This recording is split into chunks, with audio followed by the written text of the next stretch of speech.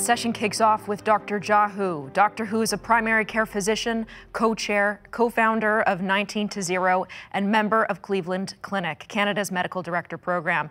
He is currently a medical officer of health at Alberta Health, Ser health Services, where he's played an important role in many aspects of the COVID-19 pandemic, including scaling up of testing and contact tracing, development of the mobile tra contact tracing app, assisting organizations with COVID-19 preparedness and reopening, and engaging in risk communications. Dr. Hu, it's a pleasure to welcome you. Oh, yeah, thanks for having me.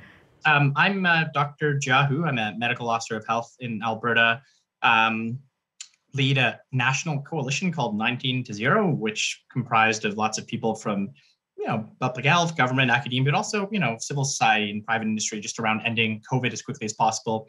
And I, you know, I, I think that throughout this pandemic, you know, uh, some people in public health have certainly been focused on COVID, uh, but I think that before this, my my day job was to try to get people vaccinated with the other stuff, and you know, those are really really important. So, you know, vaccinations have saved millions, maybe even tens tens or hundreds of millions of lives. I think.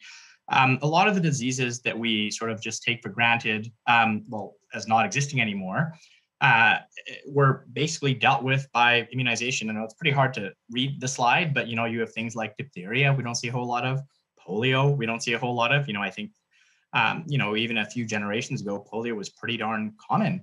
Um, other things we don't see a whole lot of anymore are, are, are measles, though we're seeing, you know, little breakthroughs here and there. And I think that of all the interventions that you know public health has ever done, like in terms of a pure public health intervention, vaccinations probably have been the most effective um, thing when it comes to saving people's lives and you know reducing the burden of disease. This just actually emphasizes you know how much vaccinations have done even in the last 10 years. And so this graph actually shows total deaths averted globally from 2011 to 2020 from immunizations um, just in low income countries. And that figure is 23.3 million people. That's, I mean, like two thirds the size of Canada.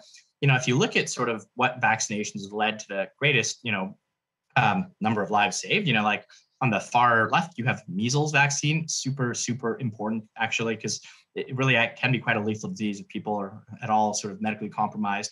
But a lot of the other things there are things that we consider part of our routine program. So hepatitis B is on the list with you know five million deaths averted.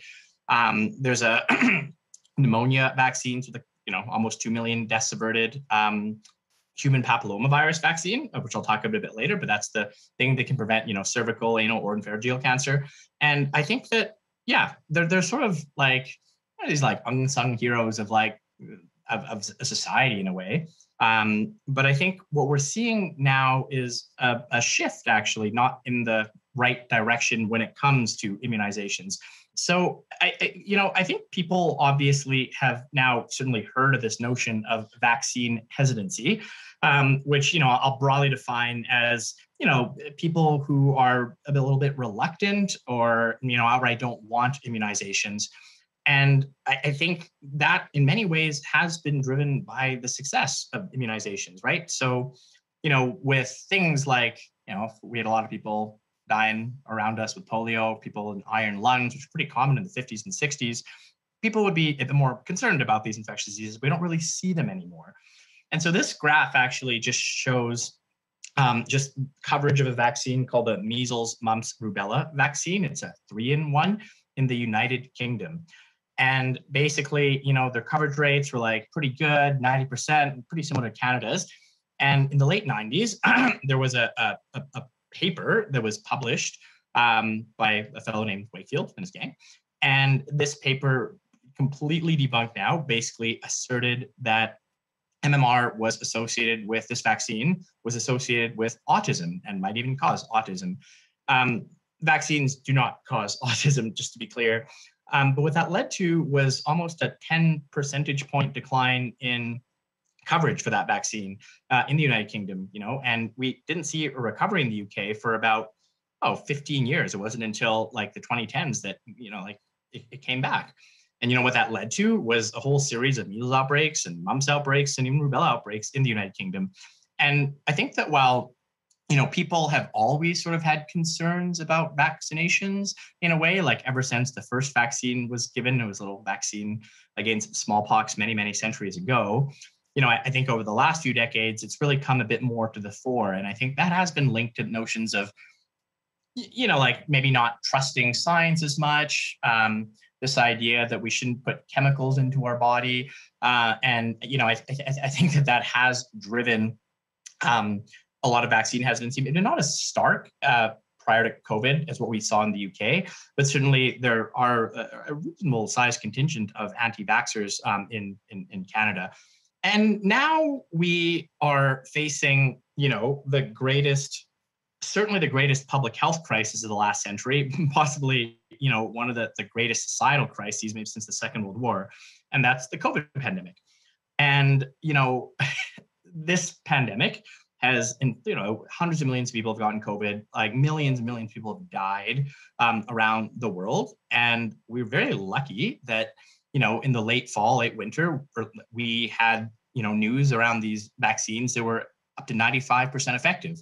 Um, you know, that news was really uplifting to me because it signified that we had the tools to effectively exit pandemic. But what's basically happened is, you know, this vaccine hesitancy thing has been sort of like churning along and churning along. And now we have a vaccine hesitancy pandemic that's making it hard to actually deal with our actual COVID pandemic. And so this graph actually tracks sort of Canadians' willingness to take vaccine at different points in time as soon as it's available. Um, we work a lot with Angus Reid to do some of this polling. But you know, in January, numbers are similar now. Only about 60 to 70 percent of Canadians would get a vaccine for COVID as soon as it was available to them. And that might sound pretty high, or I don't know if it does or not. But you know, realistically, with what we know now about COVID, I think that people like Dr. Fauci are saying we need vaccine uptake of probably at least 85%, maybe even higher if we are to achieve herd immunity.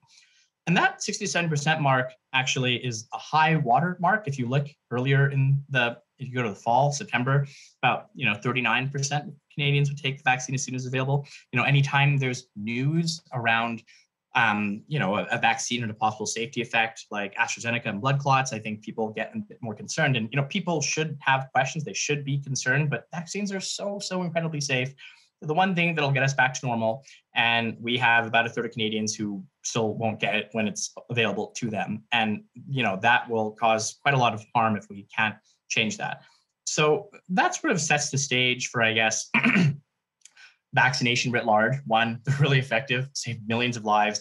And two, a lot of people do have questions, concerns, even in the midst of the you know the greatest societal crisis in decades. The, the focus of you know the talk ultimately today though is around vaccines that aren't COVID related or non-COVID stuff. You know, I think you probably get a lot of COVID news in the news. It's all over the news. And so I think when it comes to vaccination, it's important to realize that they are given throughout a person's life. And I think we often think of vaccines as things that kids get, and kids do get a lot of vaccines. Um, childhood vaccines, we call them. Um, and, you know, they prevent those like crazy diseases we don't see anymore, like polio and diphtheria. Um, uh, but we also give vaccines after, you know, kids are, you know, five or whatever, right? So we give vaccines in adolescence.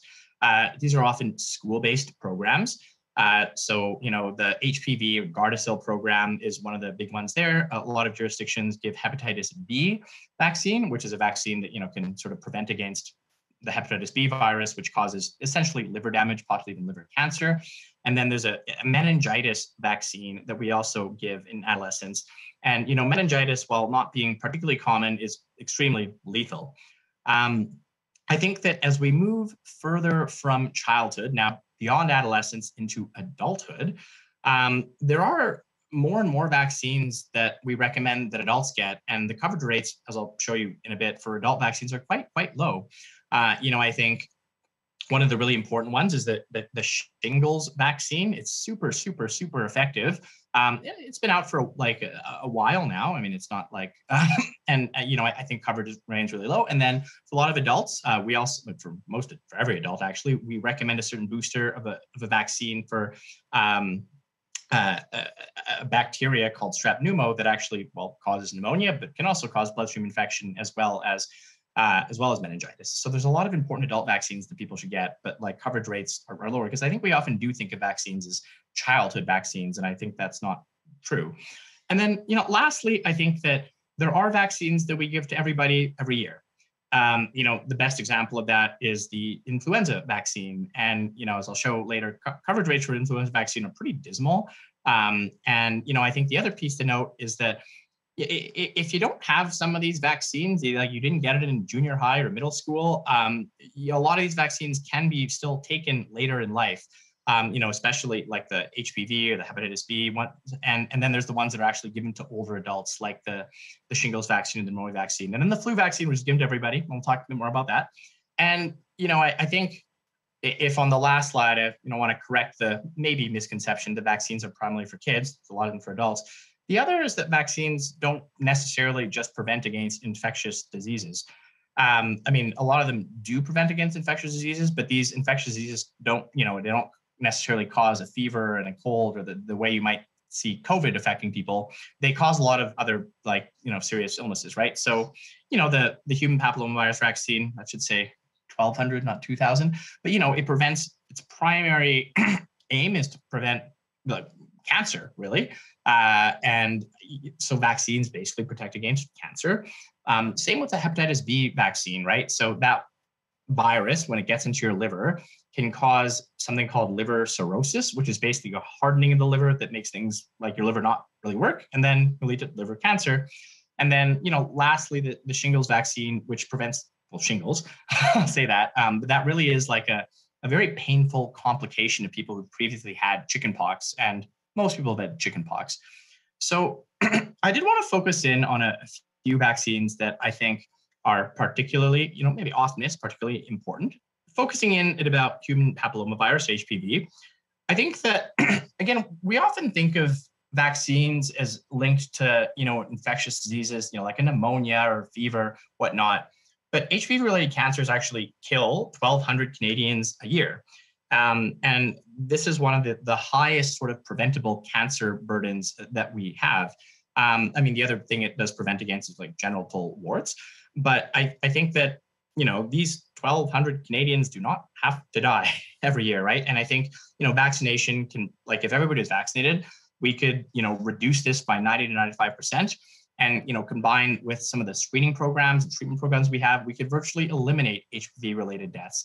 And I think that that isn't something that maybe people are aware of in terms of the burden of the disease that it causes. Even though the vaccine is very, very, very, very effective, you know, if we look at the uptake across the country, and this is a little map of Canada province, that depending on the province you're at, um, you know, only about 60, 70 at a very high mark, 80% of people have this vaccine. And, you know, actually throughout the COVID pandemic, what sort of happened is that a, a lot of the vaccines that we normally get through public health or through schools, those programs have been stopped because, well, one, like, like, you know, a lot of schools have been closed. Uh, you know, a lot of family doctors' offices have been closed. And so we've seen drops in coverage by as much as 30 or even 40% from that 67% mark. And, and that's really, really, really bad. You're creating this, you know, like this huge potential burden of disease. Um, the, the, good news is, I think, when it comes to this vaccine, if, if, people haven't gotten it or they're sort of missed their sort of their, their when they're supposed to get it in, in, in middle school or high school, um, you know, it is recommended to sort of all Canadians. NACI says you can use it uh, no matter sort of what age you are, and so you can catch up. And I think that's really, really important. Um, so I did want to talk about HPV just because, you know, I, again, I, I think we think of a lot of these vaccine preventable diseases as like things of the past, but we have one where a vaccine really works that kills 1,200 Canadians every year. And we can, you know, take some pretty direct action to, to deal with that.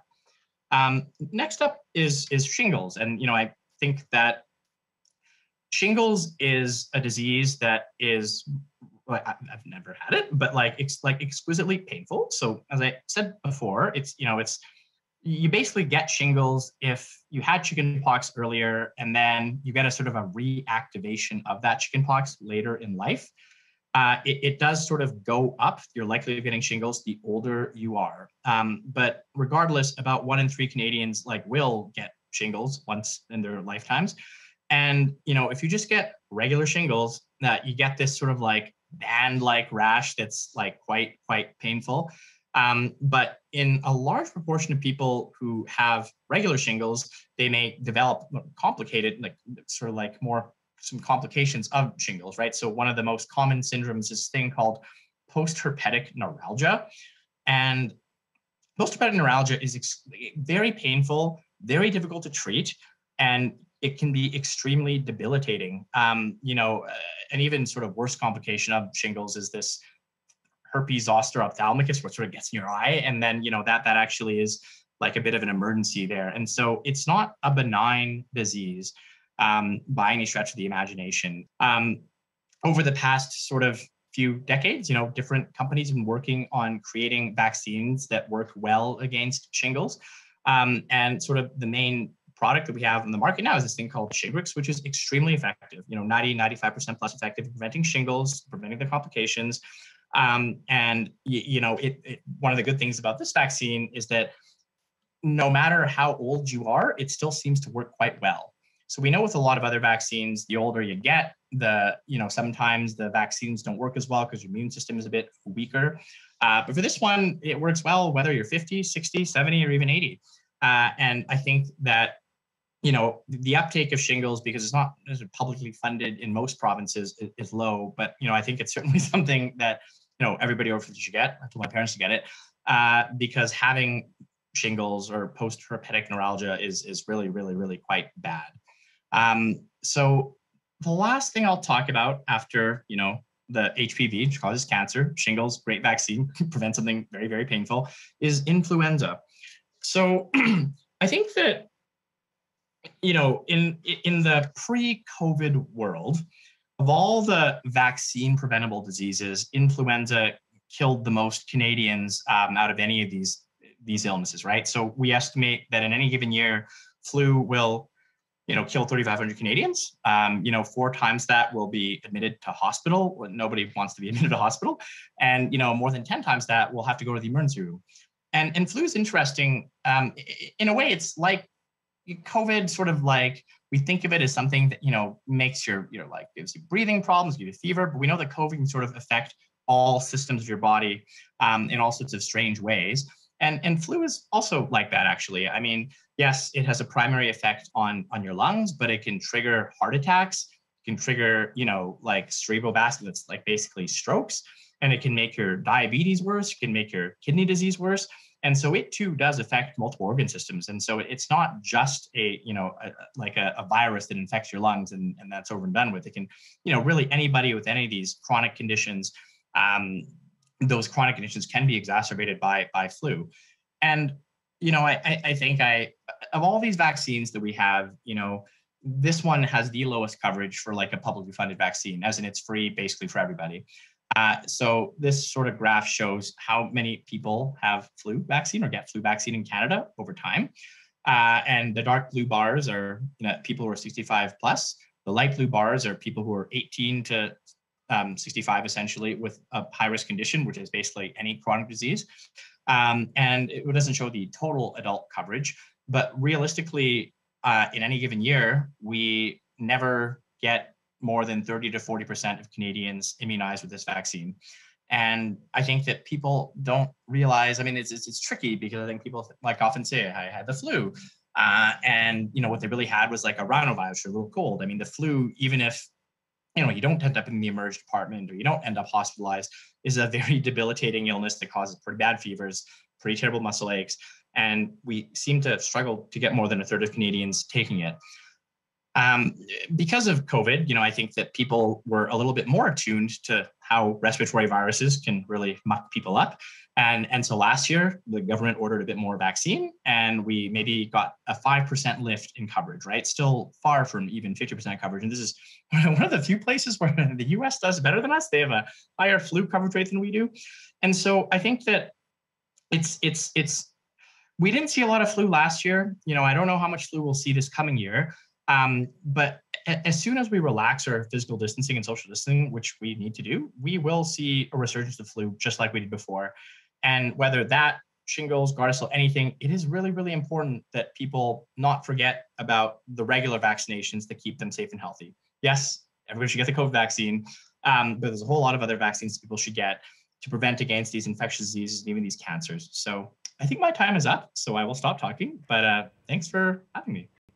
Dr. Hu, uh, you know, before I let you go, I do have a question I do want to ask specifically about the COVID vaccine, but I just want to remark on one thing you mentioned, which was, you know, as we age, the importance of staying on top of our vaccines. And I know I have two little young ones, and I still carry around their yellow vaccine cards, which, as we age, you know, those we either lose track of those, and a lot of people just don't know what vaccines they've had. So I think that maybe as a society, governments can do a better job of informing people of what vaccines they need. Would you agree? Uh, yeah, and um, absolutely. And I think you, you know, it's funny. Like I, I, I, did my medical training in, in Toronto, and those little yellow cards are pretty like easy to lose. The one good thing out of the COVID thing with respect to that is basically every single province building an electronic registry of the vaccines. And so in the future, hopefully, little yellow cards will be a thing of the past, and we will have a better sense of what you've had, um, you know, now and 20 years ago. So let me just ask you about the COVID vaccine because we have a lot of questions from people with whether it's a different, maybe they have a condition or otherwise, call it an autoimmune disorder, or maybe a woman is pregnant or breastfeeding. Are there any reasons why someone should think twice about getting the COVID vaccine? No, the, the only reason somebody shouldn't get a COVID vaccine is if they've had an anaphylactic reaction to like a part of the vaccine before. Anaphylaxis being like not regular allergies, but this is like the part where you need epi, you have trouble breathing, need to go to the emerge. And you know, fundamentally, the vaccine is it's like a dead vaccine as opposed to a live vaccine. You know, it can't give you COVID. And so it should be safe really in all these populations um, by and by. Uh, it might not work as well in people who have a weakened immune system. And that's something we're learning about actually day by day right now. But it is extremely, extremely, extremely safe. Thank you. And Dr. Hu, I had a question for you as well. You spoke to the 5% lift with the flu vaccine, and even through some of my own work, I've seen the numbers increase this year with flu vaccinations. But there's been a little bit of misinformation around the fact that now that we have COVID, it seems like the flu has disappeared, and is there some sort of a conspiracy? Could you speak a little bit to that? Yeah, yeah, yeah, no, it's a really good question. I mean, the reason why we don't see as much flu is because, you know, fundamentally, COVID is more infectious than flu, right? And we've done these lockdowns that basically, well, they can't necessarily, they can drop our COVID numbers, but they're good enough at really stopping flu and, and most other, like I, I suspect people have had fewer colds this year than in prior years. But as soon as we open up again, these things will come back. And, you know, I, I certainly do not want to ever live through another lockdown year. I don't think anybody else does. And it'll come back just the same as before. You know, it's just, it's all a function of how much human beings interact with one another. And I do want us interacting with one another more and more as soon as we can do so safely. So, not a conspiracy. Those are great points. Thank you again, Dr. Hu.